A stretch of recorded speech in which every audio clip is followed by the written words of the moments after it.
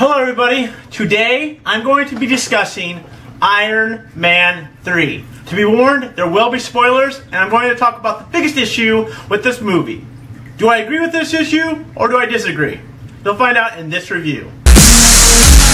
In this Iron Man, Tony Stark is basically dealing with PTSD from the Avengers movie, and he still has to deal with not only the Mandarin, but also the virus. Now, what does this virus exactly do?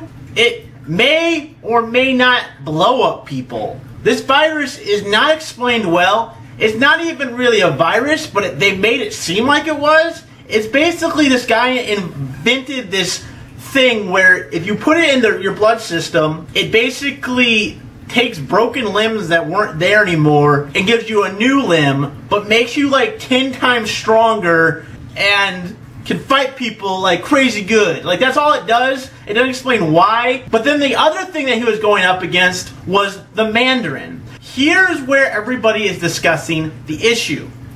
The twist plot that happens is that we end up finding Iron Man, aka Tony Stark, coming up on Mandarin. The Mandarin is behind all of these bombings and threats, and basically he is put as a terrorist. And the Mandarin wants the president to I don't. He didn't even really say what he wants. Like he shot him, and you're just like, why do? You, what does the Mandarin want exactly? He just hates America. That Tony Stark goes to look for the Mandarin. When he starts looking for the Mandarin, he has like five or six panic attacks in the movie, and then all of a sudden he finds the Mandarin, and we're like, oh, this is gonna be great. The Mandarin versus Iron Man versus awesomeness, and this is gonna be great. But what do we get? We get the Mandarin as a fake actor.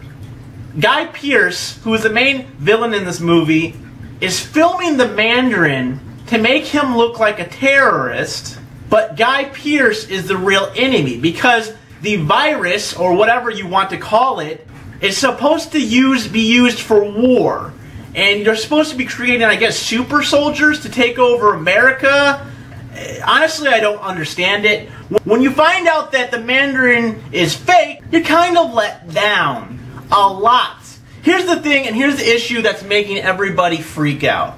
We are expecting the Mandarin with all of his ring powers and his kung fu and who he is as a villain to show up and take down Tony Stark. The trailer makes it seem like the Mandarin is taking down the whole world, basically, and all it is is a big TV hoax. Do I like it or do I not? As a comic book fan, I hate it. But at the same time, this movie did something that not a lot of movies do. They made you discuss the movie.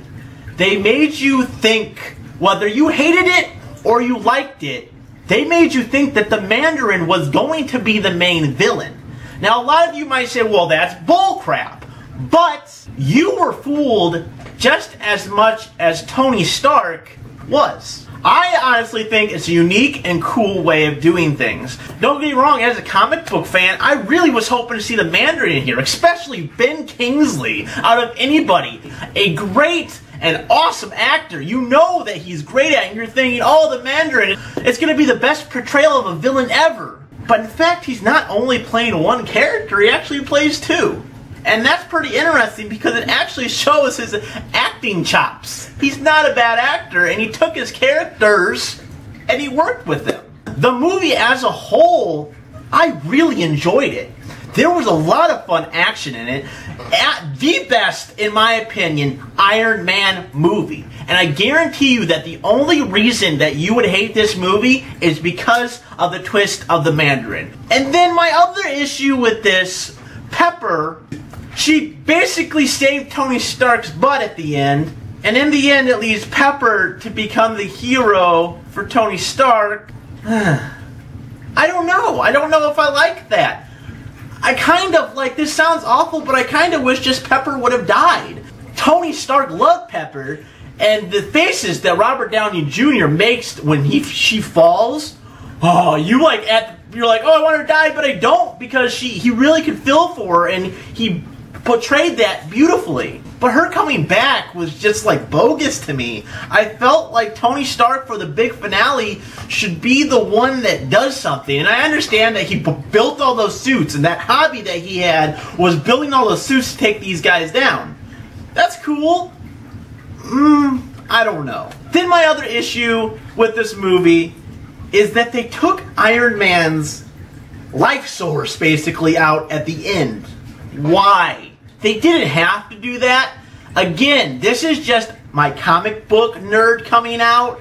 Ah! But it's weird because at the same time, I really enjoyed this movie. It seems that I'm bickering a lot about it, and I'm like, oh, it wasn't that good from what I say? But honestly, as a person that's just enjoying the movie for what it is, I loved it. It was fun, it was a good time, but if you're a comic book geek, like I am on this side of the fence, there's things you will be irritated about this movie, especially for fin- the finale. So that's what I think about Iron Man 3. Do you agree? Do you disagree? What do you think about the spoilers? Did you like the Mandarin? Did you not like the Mandarin? Or did you think like I thought? If you're a comic book nerd, you're probably gonna hate it. And if you're a moviegoer, you're probably gonna love it.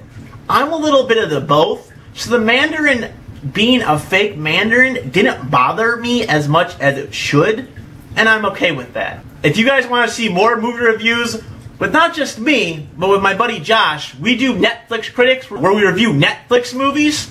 I just wanted to do this real quick because I've seen Iron Man 3. I'm a huge superhero fan, book, movie guy, so that's why I had to review this. Thank you so much for watching, and I'll see you next time. Bye. What you say?